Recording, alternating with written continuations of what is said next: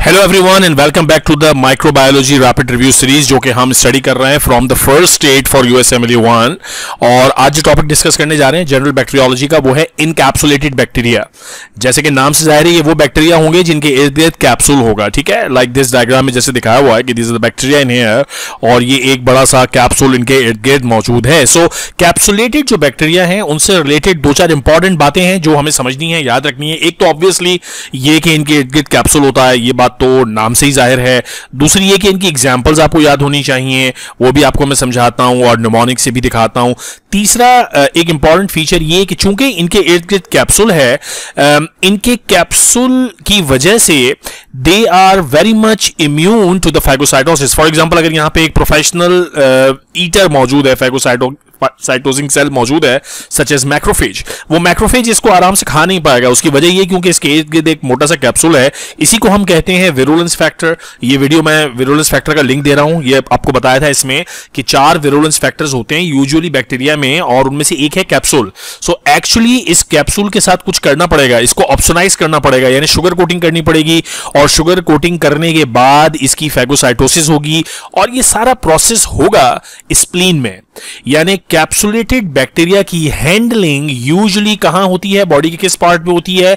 Spleen में। और ये एक इंपॉर्टेंट फीचर हो गया क्योंकि वो लोग जिनमें स्प्लीन नहीं होती for X Y Z reason for example किसी में कोई एक्सीडेंट हो गया स्प्लीन रप्चर हो गई स्प्लीन निकाल दी। So anyone who does not have spleen उनमें ये कैप्सूल वाले जो बैक्टीरिया हैं ये एक आतंक मचा सकते हैं, ये तबाही मचा सकते हैं, क्योंकि कैप्सूल खत्म करना काम है स्प्लीन का, इन बैक्टीरिया को हजम करना काम है स्प्लीन का। अब स्प्लीन है नहीं तो ये बैक्टीरिया तबाही मचाने के लिए आज़ाद है। तो एक ये इंपॉर्टेंट फीचर है जो आपने याद रखना है।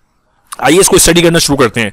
Examples of encapsulated bacteria are Pseudomonas aeruginosa Streptococcus pneumoniae Haemophilus influenza Neisseria meningitidis E coli Salmonella Klebsiella and group B strep so it's it's a long long list that you must remember mnemonic इन्होंने यहाँ पे दिया है but it's not a great mnemonic अब देखें please shine my skies I mean it doesn't ये mnemonic अच्छा तब होता है जब बैक्टीरिया का या टॉपिक का नाम सुनते ही आप निमोनिक के साथ कनेक्ट कर पाए। अब यहाँ कनेक्शन काफ़ी मुश्किल है। बहरहाल आप याद रखना है आपको, या निमोनिक से याद रखें, या डायरेक्ट ऑर्गेनिजम्स के नाम याद रखें। बात चीज़ें ऐसी होती हैं मेडिसिन में जो आपको बार बार पढ़ने से ऑब्वियसली याद हो जाती हैं। So keep revising this topic unless you master them unless you remember them लेकिन ये सारे नाम याद रखना ज़रूरी है। देखें मेनिंजाइटिस कॉज करने वाला organism influenza pneumonia Salmonella Klebsiella E coli ये सारे वो ऑर्गेनिजम्स हैं जिनके इर्द गिर्द कैप्सूल है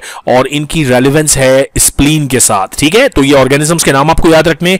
Their capsules serve as anti phagocytic virulence factor ये मैंने आपको बात समझा दी कि चूँकि इसके इर्द गिर्द कैप्सूल मौजूद है तो जो फेगोसाइटोजिंग सेल्स हैं सच एज मैक्रोफेजिस न्यूट्रोफिल्स वो इसको खा नहीं पाएँगे फेगोसाइटोज नहीं कर पाएँगे, ठीक है? सो ये कैप्सूल इसकी बचत करवा रहा है बैक्टीरिया की राइट right? ओके okay, अब इनका खात्मा एक्चुअली होता कैसे है? दीज माइक्रो ऑर्गेनिजम्स ये बैक्टीरिया जिनके कैप्सूल है they are opsonized and then cleared by the spleen opsonization का बेसिकली मतलब ये होता है कि इट्स अ हार्ड कैप्सूल ना अंदर यहाँ बैक्टीरिया मौजूद है तो इस कैप्सूल की शुगर कोटिंग की जाती है इसको कहते हैं ऑप्शनाइजेशन ताकि स्प्लीन में इजीली इसकी फैगोसाइटोसिस होके स्प्लीन का इंपॉर्टेंट रोल है। सो so, जो ए स्प्लीनिक्स हैं they have decrease opsonizing capability and thus increased risk of infection, they need to be vaccinated. यानी for example there is a chap there और इस बंदे का फॉर एग्ज़ाम्पल एक्सीडेंट हुआ था स्प्लीन रप्चर हो गई थी, या गन शॉट वोन था, या स्टैब इंजरी थी स्प्लीन नहीं है इसके अंदर okay so he is the person who is asplenic is asplenic बंदे को आपको वैक्सीन देनी होगी कंटिन्यूस बेसिस पर, और वो वैक्सीन किसके अगेंस्ट होगी? अगेंस्ट द कैप्सुलेटेड बैक्टीरिया और particularly Neisseria meningitis Strep pneumoniae and Haemophilus influenza अगर आप इस बंदे को सेफ़ रखना चाहते हैं from meningitis and from pneumonia so आपको इसे वैक्सीन देनी होगी, क्योंकि इसका जो नेचुरल क्लियरिंग मैकेनिज्म था नेचुरल डिफेंड मैकेनिज्म था, जो कि स्प्लिन था, वो अब मौजूद नहीं है। So that's an important clinical correlation जो आपको याद रखनी चाहिए। ये सारी जो इन्फॉर्मेशन मैं आपको दे रहा हूँ, जब क्लिनिकल क्वेश्चन करेंगे ना, ये सब रिपीट होगी ओके सो ऑर्गेनिजम्स के नाम पता होने चाहिए इनकैप्सुलेटेड बैक्टीरिया में स्प्लीन से उसका रिलेशन पता होना चाहिए। अगर कोई ए स्प्लिनिक है तो इन ऑर्गेनिजम्स की वैक्सीनेशन इंपॉर्टेंट है। No spleen here no Neisseria के लिए vaccination strep pneumoniae spleen strep pneumoniae spleen S and H Haemophilus इनकी वैक्सीनेशन ज़रूरी है ए स्प्लिनिक्स में, ठीक है?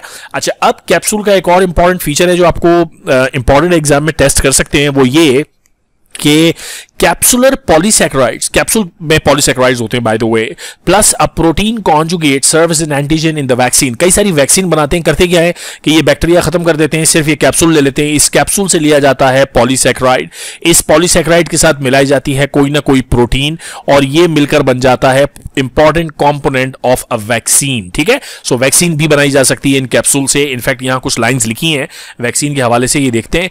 Encapsulated bacteria vaccine some vaccines containing polysaccharide capsule antigens यानी वो एंटीजन जो कैप्सूल के अंदर मौजूद है are conjugated to some other carrier proteins enhancing their immunogenicity यानी ये कैप्सूल की पॉलीसेक्राइड्स हैं, इनके साथ मिलाई जाती है कोई और प्रोटीन इसकी वजह से इसकी जो इम्यूनोजेनिसिटी है वो इंक्रीज हो जाती है और टी सेल एक्टिवेशन बढ़ जाती है।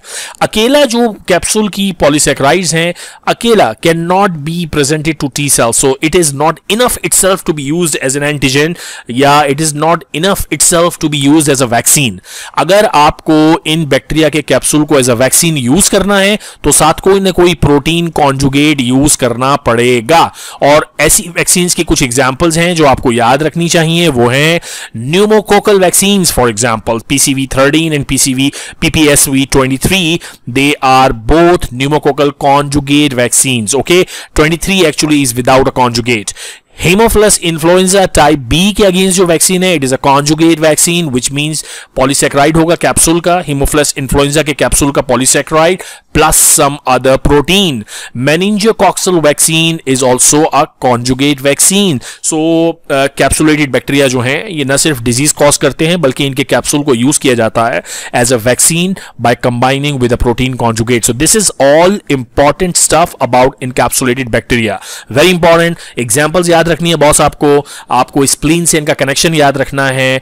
वैक्सीनेशन के हवाले से ये बातें याद रखनी है कि इन कैप्सूल्स के पॉलीसेक्राइड्स को प्रोटीन के साथ कॉन्जुगेट करके वैक्सीन भी बनाई जा सकती है। ओके आपसे मुलाकात होगी नेक्स्ट वीडियो में। तब तक के लिए अपना ख्याल रखिएगा। Take care of your